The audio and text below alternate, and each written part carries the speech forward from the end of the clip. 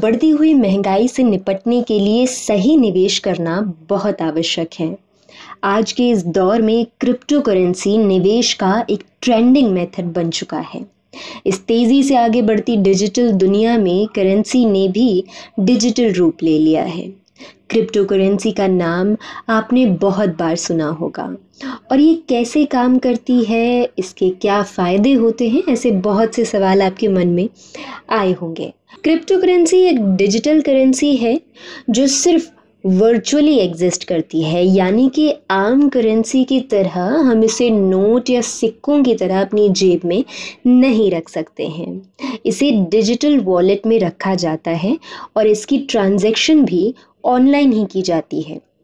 दोस्तों, आप जानते ही होंगे कि हर देश की अपनी एक करेंसी होती है और उस पर वहाँ की सरकार का अधिकार होता है।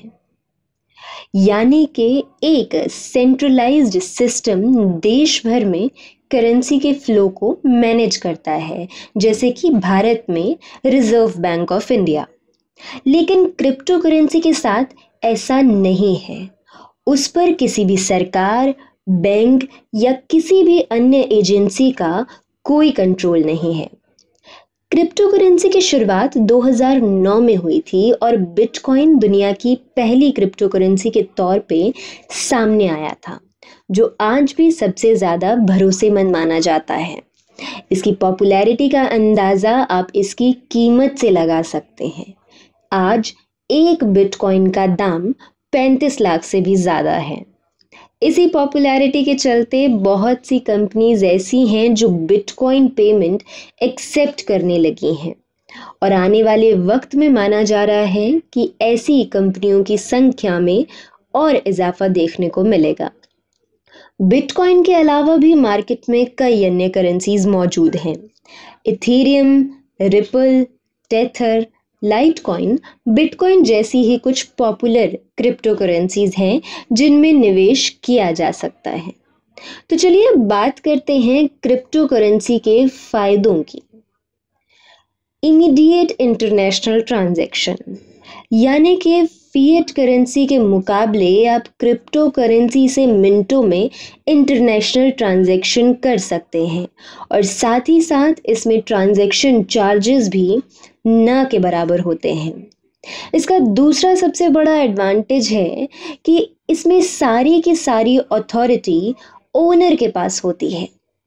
अगर मेरे पास बिटकॉइन है तो उसकी सारी अथॉरिटी सारी पार मेरे पास है।